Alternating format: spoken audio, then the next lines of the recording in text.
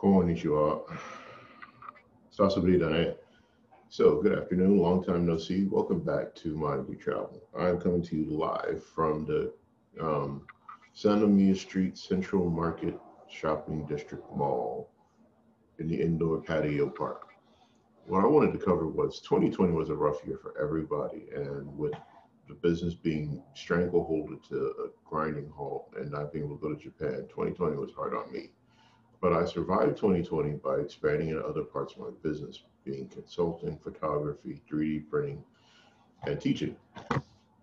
For 2021, um, I realized that I have a lot of unused footage from my trips to Japan from 2017 to 2019. Also, I wanted to go back to my TED Talk series about investing in the real estate market in Japan, as well as investing in other markets around the world.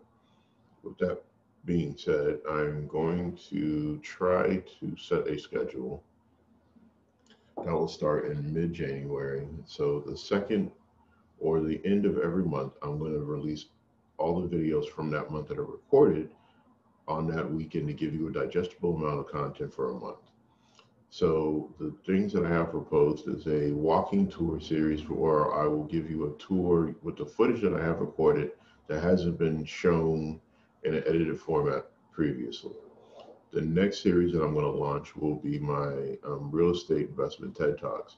What happened with my super plan to take over the Japanese real estate market by 2020 versus what can you do now to find a place to retire in Japan or relocate? Um, keeping in mind that 2020 did unleash COVID 19 on the world and the pandemic is a real thing. So with that included and thought about, um, the next things I wanted to list out is that I'm still in New Orleans physically, even though the beautiful background behind me is Kobe. This is one of my favorite shots. Um, if you are in New Orleans market or you are between New Orleans and San Antonio, I want to reach out for consulting services digitally, virtually, or whatever. Please check the campsite bio link below. Reach out for consult um, consultations are free see what I can help you with to better improve your small business and help you run your things logically and well placed at home. And I will talk to you soon. Have a blessed and safe 2020 party to wrap up the year and look forward to a happy, healthy, and successful 2021. And as the shirt says, I'm not for everyone.